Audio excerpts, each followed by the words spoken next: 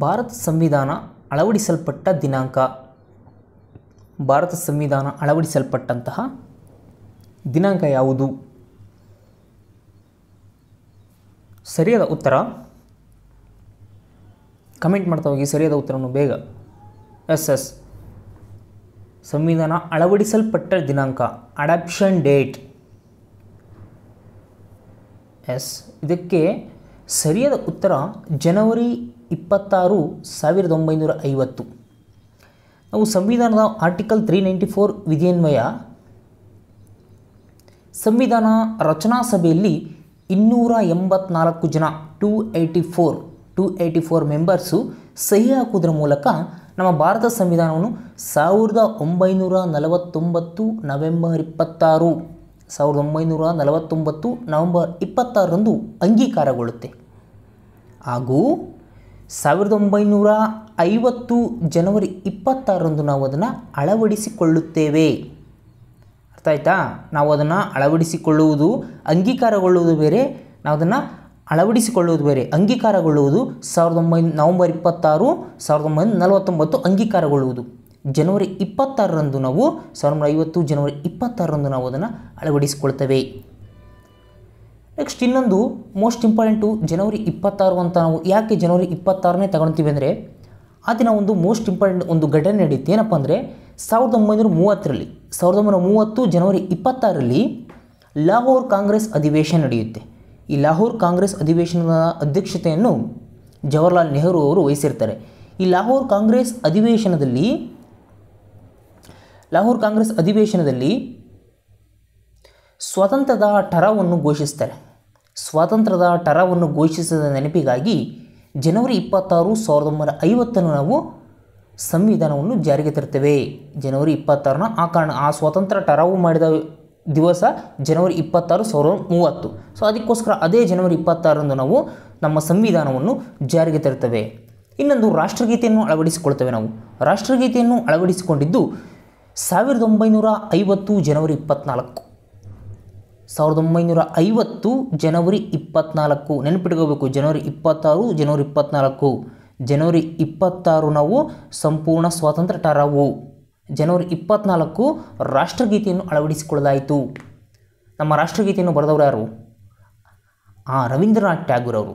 ಇವರು ರವೀಂದ್ರನಾಥ್ ಟ್ಯಾಗೂರ್ ಅವರು ನೋಬೆಲ್ ಪ್ರಶಸ್ತಿಯನ್ನು ಪಡೆದಂತಹ ಏಷ್ಯಾದ ಮೊದಲ ವ್ಯಕ್ತಿ. ಸಾವಿರದ ಒಂಬೈನೂರ ಹದಿಮೂರರಲ್ಲಿ, ಸಾವಿರದ ಒಂಬೈನೂರ ಹದಿಮೂರರಲ್ಲಿ ನೊಬೆಲ್ ಪ್ರಶಸ್ತಿಯನ್ನು ಪಡ್ಕೊಳ್ತಾರೆ. ಇವ್ರಿಗಿರ್ತಕ್ಕಂಥ ಪ್ರಮುಖವಾದಂತಹ, ಅಂದರೆ ರವೀಂದ್ರನಾಥ್ ಟ್ಯಾಗೋರ್ಗೆ ಇರತಕ್ಕಂತಹ ಒಂದು ಪ್ರಮುಖ ನಾಮ, ಖ್ಯಾತ ಖ್ಯಾತ ಪಡೆದಂಥ ಒಂದು ಹೆಸರು ಗುರುದೇವ. ಎರಡು, ಮೂರು ಇದು ಯಾವ ಥರ ಪ್ರಶ್ನೆ ಕೇಳಿದ್ದಾರೆ ಅಂದರೆ ನೋಬೆಲ್ ಪ್ರಶಸ್ತಿಯನ್ನು ರವೀಂದ್ರನಾಥ್ ಟ್ಯಾಗೂರ್ಗೆ ಬಂದಂತಹ ವರ್ಷ ಯಾವುದು ಅಂದರೆ ಸಾವಿರದ ಒಂಬೈನೂರ ಹದಿಮೂರು. ಹಾಗೂ ರಾಷ್ಟ್ರಗೀತೆಯನ್ನು ಬರೆದವರು ಯಾರು ಅಂತಲೂ ಒಂದು ಸಲ ಕೇಳಿದ್ದಾರೆ ಆರ್ ಎಸ್ ಐದೊಳಗೆ ಹಾಗೂ ಏಷ್ಯಾದಲ್ಲೇ ಮೊದಲ ಬಾರಿಗೆ ನೊಬೆಲ್ ಪ್ರಶಸ್ತಿಯನ್ನು ಪಡೆದಂತಹ ಭಾರತೀಯ ಯಾರು? ಆತ ರವೀಂದ್ರನಾಥ ಟ್ಯಾಗೂರ್ ರವೀಂದ್ರನಾಥ ಟ್ಯಾಗೂರ್. ನಮ್ಮ ಸಂವಿಧಾನದಲ್ಲಿ ಕಲಾಂಗಳು ಅವೆಲ್ಲ ನಮಗೆ ಗೊತ್ತಿದ್ದಾವೆ. ಅಮ್ಮ ಮುಂಚೆ ನಮ್ಮ ಸಂವಿಧಾನ ಅಡಾಪ್ಷನ್ ಮಾಡಿ ಅಳವಡಿಸಿಕೊಂಡಾಗ ಮುನ್ನೂರ ತೊಂಬತ್ತೈದು ಕಾಲಮ್ಸ್ ಇದ್ದವು ಎಂಟು ಅನುಸೂಚಿ, ಹದಿನೆಂಟು ಭಾಗ, ಹದಿನಾಲ್ಕು ಭಾಷೆ ಹಾಗೂ ಹದಿನಾಲ್ಕು ರಾಜ್ಯ ಇದ್ವು ಅವಾಗ. ಈಗ ಪ್ರಸ್ತುತ ಅದೇ ಮುನ್ನೂರ ತೊಂಬತ್ತೈದು ಕಾಲಮ್ಗಳಿಗೆ ಈಗೆಲ್ಲ ಸಬ್ ಡಿವೈಡ್ ತಿದ್ದುಪಡಿಗಳು ಮಾಡಿ ಮಾಡಿ ಮಾಡಿ ಟೋಟಲ್ ಐನೂರ ಅರವತ್ನಾಲ್ಕು ಕಲಮ್ಸ್ಗಳಿವೆ ಅಂದರೆ ಸಬ್ ಡಿವೈಡ್ ಸಬ್ ಡಿವೈಡ್ ಇರೋದೇ ಮುನ್ನೂರ ತೊಂಬತ್ತೈದು ಕಲಮ್ಸು ಅದರಲ್ಲಿ ಸಬ್ ಡಿವೈಡ್ ಸಬ್ ಡಿವೈಡ್ ಆಗಿ ಐನೂರ ಅರವತ್ನಾಲ್ಕಾಗಿವೆ ಅನುಸೂಚಿಗಳು, ಹನ್ನೆರಡು ಅನುಸೂಚಿಗಳಾಗಿವೆ ಹಾಗೂ ಬಾ, ಭಾಗಗಳು ಇಪ್ಪತ್ತೆರಡು ಭಾಗಗಳಾಗಿವೆ. ಹನ್ನೆರಡರಿಂದ ಇಪ್ಪತ್ತೆರಡು ಭಾಗಗಳು. ಟೋಟಲ್ ಇಪ್ಪತ್ತೈದು ಅಂತ ಹೇಳ್ತಾರೆ. ಯಾಕಂದರೆ ಸಬ್ ಡಿವೈಡಲ್ಲಿ ನೈ ನೈನ್ ಎ ಬಿ ಹಿಂಗೆಲ್ಲ ಸೇರಿಸಿ ಇಪ್ಪತ್ತೈದು ಭಾಗಗಳು. ಅಂದರೆ ಮೇನ್ ಭಾಗಗಳು ಇರೋದೇ ಇಪ್ಪತ್ತೆರಡು ಭಾಗಗಳು. ಹಾಗೂ ಇಪ್ಪತ್ತೆರಡು ಭಾಷೆಗಳಿವೆ. ಇಪ್ಪತ್ತೆರಡು ಭಾಷೆಗಳು. ಹಾಗೂ ಇಪ್ಪತ್ತೆಂಟು ರಾಜ್ಯಗಳಿವೆ. ಇಪ್ಪತ್ತೊಂಬತ್ತು ರಾಜ್ಯದ ಜಮ್ಮು ಕಾಶ್ಮೀರವನ್ನು ತೆಗೆದುಬಿಟ್ಟು ನಾವು ಕೇಂದ್ರಾಡಳಿತ ಪ್ರದೇಶವನ್ನಾಗಿ ಮಾಡಿದ್ವಿ. ಜಮ್ಮು ಕಾಶ್ಮೀರವನ್ನು ಡಿವೈಡ್ ಮಾಡಿಬಿಟ್ಟು ರಾಜ್ಯದಿಂದ ಜಮ್ಮು ಕಾಶ್ಮೀರ ಮತ್ತು ಲಡಾಖ್ ಎನ್ನುವಂತಹ ಎರಡು ಕೇಂದ್ರಾಡಳಿತ ಪ್ರದೇಶ ಮಾಡಿದ್ವಿ. ಯಾವಾಗ ಎರಡು ಕೇಂದ್ರಾಡಳಿತ ಪ್ರದೇಶ ಮಾಡಿದಾಗ ಪ್ರಸ್ತುತ, ಎಲ್ಲ ಬಿಟ್ಟರೆ ಈಗ ಪ್ರಸ್ತುತ ಎಷ್ಟಿದಾವಪ್ಪ ಅಂದರೆ ಇಪ್ಪತ್ತೆಂಟು ರಾಜ್ಯಗಳಿವೆ. ಎಂಟು ಕೇಂದ್ರಾಡಳಿತ ಪ್ರದೇಶಗಳಿವೆ. ಇಪ್ಪತ್ತೆಂಟು, ಎಂಟು. ಇಷ್ಟು ನೆನಪುಗಳು ಸಾಕು. ಇಪ್ಪತ್ತೆಂಟು ಮತ್ತು ಎಂಟು ಕೇಂದ್ರಾಡಳಿತ ಪ್ರದೇಶಗಳನ್ನು ನಾವು ಕಾಣ್ತೇವೆ. ಇನ್ನೊಂದು ಬಹಳ ಇಂಪಾರ್ಟೆಂಟ್ ಪ್ರಶ್ನೆ ಮೋಸ್ಟ್ ರಿಪೀಟೆಡ್ ಪ್ರಶ್ನೆ. ಮೋಸ್ಟ್ ರಿಪೀಟೆಡ್ ಹಾಗೂ ಬಹಳ ಇಂಪಾರ್ಟೆಂಟು ಮೂಲಭೂತ ಹಕ್ಕುಗಳಿಗೆ ಸಂಬಂಧಪಟ್ಟಂತೆ ಈ ಮೂಲಭೂತ ಹಕ್ಕುಗಳ ಪಟ್ಟಿಯಿಂದ ಸಂವಿಧಾನದಲ್ಲಿ ಆಸ್ತಿ ಹಕ್ಕನ್ನು ತೆಗೆದು, ತೆಗೆದುಹಾಕಲಾಯಿತು. ಮೂಲಭೂತ ಹಕ್ಕುಗಳ, ಆಸ್ತಿಯ ಹಕ್ಕು ಮುಂಚೆ ಮೂಲಭೂತ ಹಕ್ಕಾಗಿತ್ತು. ಆ ಆಸ್ತಿ ಹಕ್ಕನ್ನು ತೆಗೆದುಹಾಕಲಾಯಿತು ಮೂಲಭೂತ ಹಕ್ಕುಗಳಿಂದ. ತೆಗೆದು ಹಾಕಿದಂತಹ ಆ ತಿದ್ದುಪಡಿ ಯಾವುದು? ಯಾಕೆ ತೆಗೆದುಕೊಳ್ಳಲಾಯಿತು? ಈಗ ಆ ಮೂಲಭೂತ ಹಕ್ಕು ಎಲ್ಲಿದೆ? ಯಾವ ರೂಪದಲ್ಲಿದೆ? ನೋಡೋಣ. ನೋಡ್ರಿ, ಮೂಲಭೂತ ಹಕ್ಕುಗಳನ್ನು ನಾವು ನಲವತ್ತ ನಾಲ್ಕನೇ ತಿದ್ದುಪಡಿ ಮೂಲಕ ಆಸ್ತಿಯ ಹಕ್ಕನ್ನು ಮೂಲಭೂತ ಹಕ್ಕಿನಿಂದ ನಲವತ್ನಾಲ್ಕನೇ ತಿದ್ದುಪಡಿ ಮೂಲಕ, ಅಂದರೆ ಮುಂಚೆ ಆ ಆಸ್ತಿಯ ಹಕ್ಕು ಅನ್ನುವುದು ಮೂಲಭೂತ ಹಕ್ಕಿನ ಆರ್ಟಿಕಲ್ ಮೂವತ್ತೊಂದು ಆರ್ಟಿಕಲ್ ಮೂವತ್ತೊಂದರಲ್ಲಿ ಇತ್ತು. ನಾವೇನು ಮಾಡಿದ್ವಿ, ನಲವತ್ನಾಲ್ಕನೇ ತಿದ್ದುಪಡಿ ಸಾವಿರದ ಒಂಬೈನೂರ ಎಪ್ಪತ್ತೆಂಟರಲ್ಲಿ ಏನು ಮಾಡಿದ್ವಿ ಅಂದರೆ, ಸಾವಿರದ ಎಪ್ಪತ್ತೆಂಟರಲ್ಲಿ ಅದು ಅದನ್ನು ತೆಗೆದುಬಿಟ್ಟು, ಆಸ್ತಿಯ ಹಕ್ಕನ್ನು ತೆಗೆದು ಕಲಂ ಮುನ್ನೂರ ತ್ರೀ ಹಂಡ್ರೆಡ್ ಎ ಕಲಂ ತ್ರೀ ಹಂಡ್ರೆಡ್ ಎ ಇಲ್ಲಿ ಕಾನೂನುಬದ್ಧ ಪರಿಹಾರಾತ್ಮಕ ಹಕ್ಕಾಗಿ ಮಾರ್ಪಡಿಸಲಾಗಿದೆ. ಪ್ರಸ್ತುತ ಈಗ ಪ್ರಸ್ತುತ ಈಗ ಆಸ್ತಿಯಕ್ಕೂ ಏನಾಗಿದೆ ಅಂತ ಕೇಳಿದರೆ ಅದು ಕಾನೂನುಬದ್ಧ ಹಕ್ಕಾಗಿದೆ. ಮೂಲಭೂತ ಹಕ್ಕಿನಿಂದ ತೆಗೆದು ಅದನ್ನು ಮೂವತ್ತೊಂದು ಆರ್ಟಿಕಲ್ ತೆಗೆದುಬಿಟ್ಟು ಮುನ್ನೂರು ಎಗೆ ಸೇರಿಸಿ ಅದನ್ನು ಕಾನೂನುಬದ್ಧ ಹಕ್ಕಾಗಿ ನಾವು ಮಾರ್ಪಡಿಸಲಾಗಿದೆ. ಆದರೆ ಪ್ರಸ್ತುತ ಈಗ ಆ ತಿದ್ದುಪಡಿ ಆದಮೇಲೆ ಮೂಲಭೂತ ಹಕ್ಕುಗಳ ಸಂಖ್ಯೆ ಸೆವೆನ್ ಇದ್ದವು. ಮುಂಚೆ ಸೆವೆನ್ ಇದ್ದ ಮೂಲಭೂತ ಹಕ್ಕುಗಳೀಗ ಸಿಕ್ಸ್ಗೆ ಎಳೆದಿದೆ. ಮೂಲಭೂತ ಹಕ್ಕುಗಳು ಸೆವೆನಿಂದ ಸಿಕ್ಸ್ಗೆ ಎಳೆದಿದೆ. ಹಾಗೆ ಈಗ ಏನು ನಲವತ್ನಾಲ್ಕನೇ ತಿದ್ದುಪಡಿ ಎಷ್ಟು ಇಂಪಾರ್ಟೆಂಟು ಅದಕ್ಕಿಂತ ಮೋಸ್ಟ್ ಇಂಪಾರ್ಟೆಂಟ್ ಇನ್ನೊಂದು ತಿದ್ದುಪಡಿ ಇದೆ. ಅದು ನಲವತ್ತೆರಡನೇ ತಿದ್ದುಪಡಿ. ನಲವತ್ತೆರಡನೇ ತಿದ್ದುಪಡಿ ಪ್ರತಿ ಸಲ ಎಕ್ಸಾಮಲ್ಲಿ ಕೇಳೇ ಕೇಳ್ತಾನೆ, ಎಲ್ಲ ಎಕ್ಸಾಮಲ್ಲೂ ಏನಾದರೂ ಒಂದು ಇಟ್ಟೇ ಇರ್ತಾನೆ. ನಲವತ್ತೆರಡನೇ ತಿದ್ದುಪಡಿದು ಏನಪ್ಪ ವಿಶಿಷ್ಟ ಅಂದರೆ ಅದು ಒಂದು ಮಿನಿ ಸಂವಿಧಾನ ಅಂತ ಕರಿತೀವಿ. ಯಾಕಂದರೆ ಅಷ್ಟೊಂದು ಇನ್ಫಾರ್ಮೇಷನ್ ಆ ತಿದ್ದುಪಡಿ ಮುಖಾಂತರ ತಿಳ್ಕೊಬೋದು. ಅಷ್ಟೊಂದು ಡೀಪಾಗಿಲ್ಲ ನಾನು ಅದರಲ್ಲಿ ಮೋಸ್ಟ್ ಇಂಪಾರ್ಟೆಂಟ್ ಹೇಳ್ತೀನಿ.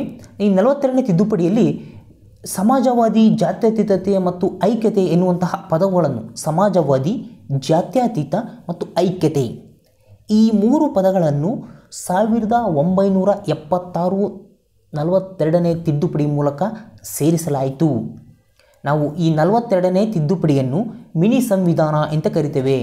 ಸಂವಿಧಾನದ ಯಾವ ತಿದ್ದುಪಡಿಯನ್ನು ನಾವು ಮಿನಿ ಸಂವಿಧಾನ ಎಂದು ಕರಿತೇವೆ ಅಂದರೆ ಅದು ನಲವತ್ತೆರಡನೇ ತಿದ್ದುಪಡಿಯನ್ನು ನಾವು ಮಿನಿ ಸಂವಿಧಾನ ಅಂತ ಕರಿತೇವೆ. ನಲವತ್ತೆರಡನೇ ತಿದ್ದುಪಡಿಯನ್ನು ಮಿನಿ ಸಂವಿಧಾನ ಅಂತ ಕರಿತೇವೆ.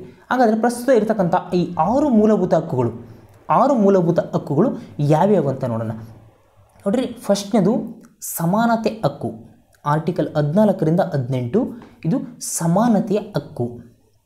ಸ್ವಾತಂತ್ರ್ಯದ ಹಕ್ಕು ಹತ್ತೊಂಬತ್ತರಿಂದ ಇಪ್ಪತ್ತೆರಡು. ಆರ್ಟಿಕಲ್ ಹತ್ತೊಂಬತ್ತರಿಂದ ಇಪ್ಪತ್ತೆರಡು, ಸ್ವಾತಂತ್ರ್ಯದ ಹಕ್ಕು. ಶೋಷಣೆ ವಿರುದ್ಧದ ಹಕ್ಕು ಇಪ್ಪತ್ತ್ಮೂರು ಮತ್ತು ಇಪ್ಪತ್ತ್ನಾಲ್ಕು ಶೋಷಣೆ ವಿರುದ್ಧದ ಹಕ್ಕು. ನಾಲ್ಕನೇದು, ಧಾರ್ಮಿಕ ಸ್ವಾತಂತ್ರ್ಯದ ಹಕ್ಕು. ಇಪ್ಪತ್ತೈದರಿಂದ ಇಪ್ಪತ್ತೆಂಟು, ಧಾರ್ಮಿಕ ಸ್ವಾತಂತ್ರ್ಯದ ಹಕ್ಕು. ಐದನೇದು ಶೈಕ್ಷಣಿಕ ಹಾಗೂ ಸಾಂಸ್ಕೃತಿಕ ಹಕ್ಕು. ಶೈಕ್ಷಣಿಕ ಮತ್ತು ಸಾಂಸ್ಕೃತಿಕ ಹಕ್ಕು ಆರ್ಟಿಕಲ್ ಇಪ್ಪತ್ತೊಂಬತ್ತು ಮತ್ತು ಮೂವತ್ತು. ಲಾಸ್ಟು ಸಂವಿಧಾನ ಪರಿಹಾರದ ಹಕ್ಕು ಆರ್ಟಿಕಲ್ ಮೂವತ್ತೆರಡು, ಸಂವಿಧಾನ ಪರಿಹಾರ ಹಕ್ಕು. ಇದನ್ನು ಡಾಕ್ಟರ್ ಬಿ ಆರ್ ಅಂಬೇಡ್ಕರ್ ಅವರು ನಮ್ಮ ಸಂವಿಧಾನದ ಹೃದಯ ಮತ್ತು ಆತ್ಮ ಅಂತ ಕರೆದಿದ್ದಾರೆ. ಅಂಬೇಡ್ಕರ್ ಅವರು ನಮ್ಮ ಸಂವಿಧಾನದ ಹೃದಯ ಮತ್ತು ಆತ್ಮ ಅಂತ ಕರೆದಿದ್ದಾರೆ. ಆರ್ಟಿಕಲ್ ಥರ್ಟಿ ಟೂ ಅನ್ನು. ಆರ್ಟಿಕಲ್ ತರ್ಟಿ ಟು ಅನ್ನು. ಹಾಗೆ ಇನ್ನೊಂದು ಒಂದೇ ಒಂದು ಪಾಯಿಂಟ್ ಮೋಸ್ಟ್ ಇಂಪಾರ್ಟೆಂಟ್ ಒಂದು ಪಾಯಿಂಟ್ ಹೇಳ್ತೀನಿ. ಯಾವುದಪ್ಪ ಅಂದರೆ ವಿಶ್ವಸಂಸ್ಥೆಗೆ ಸಂಬಂಧಪಟ್ಟಿತ್ತು ಯಾಕೆಂದರೆ, ಹಕ್ಕುಗಳ ಬಗ್ಗೆ ಹೇಳೋದ್ರಿಂದ ಒಂದು ಮಾನವ ಹಕ್ಕುಗಳ ಬಗ್ಗೆ ಒಂದು ಐಡಿಯಾ ಬಂದಿರೋದ್ರಿಂದ ಅದರ ಮಾನವ ಹಕ್ಕುಗಳದ್ದು ಒಂದು ಒಂದು ಹೇಳ್ತೀನಿ ಅಷ್ಟೇ. ಏನಪ್ಪ ಅಂದರೆ, ಸಾವಿರದ ಒಂಬೈನೂರ ನಲವತ್ತೈದು ಅಕ್ಟೋಬರ್ ಇಪ್ಪತ್ನಾಲ್ಕರಂದು ವಿಶ್ವಸಂಸ್ಥೆ ಸ್ಥಾಪನೆ ಆಗುತ್ತೆ. ಎರಡನೇ ಮಹಾಯುದ್ಧದ ನಂತರ ಸಾವಿರದ ಒಂಬೈನೂರ ನಲವತ್ತೈದು ಅಕ್ಟೋಬರ್ ಇಪ್ಪತ್ನಾಲ್ಕರಂದು ವಿಶ್ವಸಂಸ್ಥೆ ಸ್ಥಾಪನೆ ಆಗುತ್ತೆ. ವಿಶ್ವಸಂಸ್ಥೆ ಸ್ಥಾಪನೆ ಆದಾಗ ಆ ಸಾವಿರದ ಒಂಬೈನೂರ ನಲವತ್ತೆಂಟು ಡಿಸೆಂಬರ್ ಹತ್ತನ್ನು ಮಾನವ ಹಕ್ಕು ದಿನವನ್ನಾಗಿ ಆಚರಿಸಿದರು.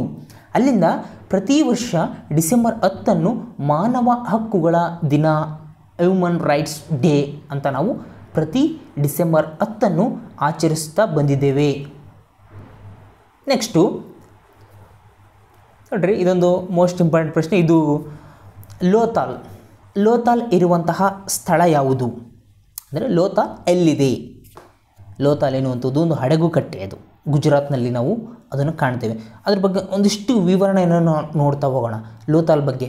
ಇದು ಗುಜರಾತ್ನ ಸಾವಿರದ ಒಂಬೈನೂರ ಐವತ್ತೊಂಬತ್ತು, ಸಾವಿರದ ಒಂಬೈನೂರ ನೈನ್ಟೀನ್ ಫಿಫ್ಟಿ ನೈನ್. ಇಲ್ಲಿ ಎಸ್ ಆರ್ ರಾವ್ ಅವರು ಈ ಲೋತಾಲನ್ನು ಸಂಶೋಧನೆ ಮಾಡ್ತಾರೆ, ಶೋಧನೆ ಮಾಡ್ತಾರೆ. ಈ ಲೋತಾಲ್ ಎಲ್ಲಿದೆ ಅಂದರೆ ಗುಜರಾತ್ನ ಬೋಗ್ವಾ ಗುಜರಾತ್ನ ಬೋಗ್ವಾ ಎನ್ನುವಂತಹ ನದಿಯ ಮೇಲಿದೆ. ಬೋಗ್ವಾ, ಗುಜರಾತ್ನ ಬೋಗ್ವಾ ನದಿಯ ಮೇಲಿದೆ. ಪ್ರಪಂಚದಲ್ಲಿಯೇ ಮೊದಲ ಹಡಗುಕಟ್ಟೆ ಕಂಡು ಬಂದಿದ್ದು ಇದೇ ಗುಜರಾತ್ನಲ್ಲಿ.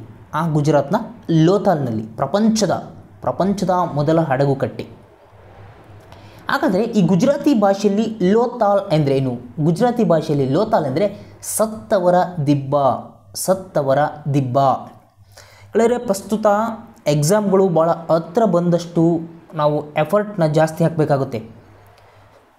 ಸೊ ಒಂದು ಅವರ್ ನಿದ್ದೆನ ಕಡಿಮೆ ಮಾಡಿ. ಸ್ಟಡಿ ಕಡೆ ಕಾನ್ಸಂಟ್ರೇಷನ್ ಕೊಡಿ. ಬೇರೆ ಎಲ್ಲ ವಿಷಯಗಳನ್ನ ನೆಗ್ಲೆಕ್ಟ್ ಮಾಡಿ, ಬಿಟ್ಟಾಕ್ಬಿಡಿ. ಅವು ಇವು ಎಲ್ಲವನ್ನು ತಂದು ತಲೆ ಒಳಗೆ ಇಟ್ಕೋಬೇಡಿ. ಎಷ್ಟೋ ಬಡ ವಿದ್ಯಾರ್ಥಿಗಳಿರ್ತವೆ ನಮಗೆ most important first study knowledge ನಾಲೆಡ್ಜಿಂದ ನಾವು ಏನು ಬೇಕಾದರೂ ಗೇನ್ ಮಾಡ್ಕೋಬೋದು. ಸೊ ನಾವು ನೆಕ್ಸ್ಟ್ ಹೇಳ್ತಾ ಹೋಗೋಣ. ಗಂಡು ಮತ್ತು ಹೆಣ್ಣಿನ ಅಸ್ಥಿಪಂಜರ ಒಟ್ಟಾಗಿ ದೊರೆತಿವೆ. ಅಂದರೆ ಸತ್ತ ನಂತರ ಆ ಮಣ್ಣಿನೊಳಗಡೆ ಹೆಣ್ಣು ಮತ್ತು ಗಂಡನ್ನು ಒಂದೇ ಗುಂಡಿಯಲ್ಲಿ ಹೂತು ಮುಚ್ಚಾಕಿರು, ಮುಚ್ಚಾಕಿದ್ದಾರೆ. ಮುಚ್ಚಾಕಿರ್ತಕ್ಕಂಥ ಒಂದು ಕುರುಹುಗಳು ಸಿಕ್ಕಿದಿವೆ. ಎಲ್ಲಿ? ಆ ಲೋತಾಲ್ನಲ್ಲಿ. ಲೋತಾಲ್ನಲ್ಲಿ ಸುಮೇರಿಯನ್, ಈ ಸುಮೇರಿಯರ ಮುದ್ರೆಗಳು ಸಮೇತ ಸಿಕ್ಕಿವೆ ಹಾಗೂ ಹನ್ನೆರಡು ಬಾತ್ರೂಮ್ಗಳು, ಸ್ಥಾನದ ಗೃಹಗಳು ಹನ್ನೆರಡು ಸಿಕ್ಕಿದಿವೆ. ಹಾಗೂ ಪಂಚತಂತ್ರ ಕಥೆಯಲ್ಲಿ ಜಾಣನರಿ ಕಥೆಯನ್ನು ನಾವೆಲ್ಲ ಕೇಳಿರ್ತೀವಿ. ಆ ಜಾಣನರಿ ಚಿತ್ರನೂ ಸಮೇತ ಅಲ್ಲಿ ದೊರಕಿದೆ. ಮತ್ತು ಒಂದು ಚೆಸ್ ಬೋರ್ಡ್. ಒಂದು ಚೆಸ್ ಬೋರ್ಡ್ ಅಳತೆಯ ಐದು ಅಗ್ನಿಕುಂಡಗಳು ಅಲ್ಲಿ ದೊರೆತಿವೆ. ಐದು ಅಗ್, ಅಂದರೆ ಯಜ್ಞ ಯಾಗಾದಿ ಮಾಡುವಂತಹ ಒಂದು ಐದು ಅಗ್ನಿಕುಂಡಗಳು ಅಲ್ಲಿ ದೊರೆತಿವೆ. ಲೋತಲ್ನು ಕ್ರಿಸ್ತಶಕ ಸಾವಿರದ ಎಂಟುನೂರಲ್ಲಿ ಒಟ್ಟು ಮೊದಲ ಸಿಕ್ಕಿವೆ. ಒಟ್ಟು ಮೊದಲ ಸಿಕ್ಕಿವೆ. ನೆಕ್ಸ್ಟ್. ಭಾರತದಲ್ಲಿ ಮೊದಲ ಬಾರಿಗೆ ಚಿನ್ನದ ನಾಣ್ಯಗಳನ್ನು ಹಚ್ಚು ಹಾಕಿದವರಾರು. ಚಿನ್ನದ ನಾಣ್ಯಗಳನ್ನು ಹಚ್ಚು ಹಾಕಿದವರಾರು ಇದಕ್ಕೆ ಸರಿಯಾದ ಉತ್ತರ ಹೇಳಿ. ಕ್ವಶನ್ ಕರೆಕ್ಟ್ ಅರ್ಥ ಮಾಡ್ಕೊಳ್ರಿ. ಅಚ್ಚು ಹಾಕಿದವರು ಅಚ್ಚು ಹಾಕಿದವರು ಕನ್ಫ್ಯೂಸ್ ಆಗ್ಬಿಡ್ರಿ. ಇದಕ್ಕೆ ಸರಿಯಾದ ಉತ್ತರ ಕುಶಣರು. ಶೇರ್ಷಾ ಸೂರಿ ಧಾಮ್ ಎನ್ನುವಂಥ ಒಂದು ಇದನ್ನು ಜಾರಿ ತರ್ತಾ ನಮಗೆ ಗೊತ್ತಿದೆ. ಏಕೈಕ ಯುರೋಪಿಯನ್ ಕರೆನ್ಸಿಯಾಗಿ ಯೂರೋ ಎನ್ನುವಂಥ ಒಂದು ನಾಣ್ಯ ಗೊತ್ತು ನಮಗೆ. ಯೂರೋ ನಾಣ್ಯ ಅದು ಎರಡು ಸಾವಿರದ, ಜನವರಿ ಎರಡು ಸಾವಿರದಲ್ಲಿ ಅಸ್ತಿತ್ವಕ್ಕೆ ಬರುತ್ತೆ. ಇಲ್ಲಿ ನೋಡ್ರಿ ಇಂಪಾರ್ಟೆಂಟು, ಭಾರತಕ್ಕೆ ಚಿನ್ನದ ನಾಣ್ಯ ಪರಿಚಯಿಸಿದ್ರು ಅಂದರೆ ಇಂಡೋಗ್ರೀಕರು. ಭಾರತಕ್ಕೆ ಚಿನ್ನದ ನಾಣ್ಯವನ್ನು ಪರಿಚಯಿಸಿದ್ರೆ ಇಂಡೋಗ್ರೀಕರು. ಚಿನ್ನದ ನಾಣ್ಯ ಹೊರಡಿಸಿದ ಮೊದಲ ಮನೆತನ ಕುಶಾಣರು. ಭಾರತಕ್ಕೆ ಚಿನ್ನದ ನಾಣ್ಯವನ್ನು ಪರಿಚಯಿಸಿದರು ಇಂಡೋಗ್ರೀಕರು. ಚಿನ್ನದ ನಾಣ್ಯ ಹೊರಡಿಸಿದ ಮೊದಲ ಮನೆತನ ಕುಶಾಣರು. ಕುಶಾಣರು. ಹಾಗೂ ರೂಪಕ ಎನ್ನುವಂತಹ ನಾಣ್ಯವನ್ನು ಈ ಗುಪ್ತರು ಹೊರಡಿಸಿದಂತಹ ಬೆಳ್ಳಿ ನಾಣ್ಯ ಗುಪ್ತರು ಹೊರಡಿಸಿದ ಬೆಳ್ಳಿ ನಾಣ್ಯದ ಹೆಸರು ರೂಪಕ. ಹಾಗೂ ಚರ್ಮದ ನಾಣ್ಯವನ್ನು ಸಾಂಕೇತಿಕವಾಗಿ ಮಹಮ್ಮದ್ ಬಿನ್ ತುಘಲಕ್ರವರು ಹೊರಡಿಸ್ತಾರೆ. ಚರ್ಮದ ನಾಣ್ಯವನ್ನು ಸಮೇತ ಮಹಮ್ಮದ್ ಬಿನ್ ತುಗಲಕ್ ಹೊರಡಿಸ್ತಾನೆ. ಗುಪ್ತರು ಹೊರಡಿಸಿದ ಬೆಳ್ಳಿ ನಾಣ್ಯದ ಹೆಸರು ರೂಪಕ. ರೂಪಕ. ನೆಕ್ಸ್ಟು, ತ್ರಿರತ್ನ. ತ್ರಿರತ್ನಗಳ ಬಗ್ಗೆ ಹೊತ್ತು ನೀಡಿದವರು ಯಾರು? ತ್ರಿರತ್ನಗಳ ಬಗ್ಗೆ ಹೊತ್ತು ನೀಡಿದವರು ಯಾರು? ನೋಡಿ, ಬುದ್ಧ, ಮಹಾವೀರ, ಗಂಡವಾದ ಮನು. ಇದಕ್ಕೆ ಸರಿಯಾದ ಉತ್ತರ ಮಹಾವೀರ. ಜೈನ ಧರ್ಮದ ಇಪ್ಪತ್ತ ನಾಲ್ಕನೇ ತೀರ್ಥಂಕರ. ಜೈನ ಧರ್ಮದ ಇಪ್ಪತ್ನಾಲ್ಕನೇ ತೀರ್ಥಂಕರನಾದ ಈ ವರ್ಧಮಾನ ಮಹಾವೀರನು ತ್ರಿರತ್ನಗಳ ಬಗ್ಗೆ ಹೊತ್ತು ನೀಡ್ತಾನೆ. ತ್ರಿರತ್ನಗಳ ಬಗ್ಗೆ ಹೊತ್ತು ನೀಡ್ತಾನೆ. ವರ್ಧಮಾನ ಮಹಾವೀರನ ಚಿಹ್ನೆ ಯಾವುದು ಅಂದರೆ ಸಿಂಹ. ಸಿಂಹ. ವರ್ಧಮಾನ ಮಹಾವೀರನು ಜೈನ ಧರ್ಮಕ್ಕೆ ಐದು ನೇತೃತ್ವ ಬ್ರಹ್ಮಚರ್ಯವನ್ನು ನೀಡ್ತಾನೆ. ಐದು ನೇತೃತ್ವ ಬ್ರಹ್ಮಚರ್ಯವನ್ನು ನೀಡ್ತಾನೆ. ಜೈನ ಧರ್ಮದ ಗ್ರಂಥಗಳೆಲ್ಲವೂ ಅರ್ಧ ಮಾಗದಿಯಲ್ಲಿವೆ ಯಾವ ಭಾಷೆಯಲ್ಲಿವೆ? ಅರ್ಧ ಮಾಗದಿ ನೆನ್ಪಿಟ್ಕೊಳ್ಳಿ ಅರ್ಧ ಮಾಗದಿಯಲ್ಲಿವೆ ನೆಕ್ಸ್ಟು ಇನ್ನೊಂದು ಪ್ರಶ್ನೆ. ಕಳಿಂಗ ಯುದ್ಧದಿಂದ ಕಳಿಂಗ ಯುದ್ಧದಿಂದ ಅಶೋಕನ ಮೇಲೆ ಆದ ಪ್ರಭಾವವನ್ನು ಕೆಳಗಂಡಲ್ಲಿ ಕಾಣಬಹುದು. ಕಳಿಂಗ ಯುದ್ಧದಿಂದ ಅಶೋಕನ ಮೇಲೆ ಆದಂತಹ ಒಂದು ಪ್ರಭಾವ. ಅಂದರೆ ಶಿಲಾಶಾಸನಗಳಲ್ಲಿ ಸ್ತಂಭಶಾಸನ, ಭೂಶೋಧನೆ ಇವುಗಳಲ್ಲಿ ಯಾವುದೂ ಅಲ್ಲ. ಗೆಳೆಯರೆ, ಈ ಪ್ರಶ್ನೆಗೆ ಸರಿಯಾದ ಉತ್ತರವನ್ನು ನನ್ನ ಕಾಮೆಂಟ್ ಬಾಕ್ಸಲ್ಲಿ ಕಾಮೆಂಟ್ ಮಾಡಿ. ಇದಕ್ಕೆ ಸರಿಯಾದ ಉತ್ತರವನ್ನು ನಾನು ಮುಂದಿನ ವಿಡಿಯೋದಲ್ಲಿ ನೀಡುತ್ತೇನೆ. ಧನ್ಯವಾದಗಳು.